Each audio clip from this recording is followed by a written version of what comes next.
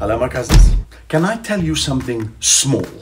The next time you are on the R62, be sure to visit the Zamani Grill in Calitzdorp, the smallest bar on the R62. Yes, the smallest on the wine route.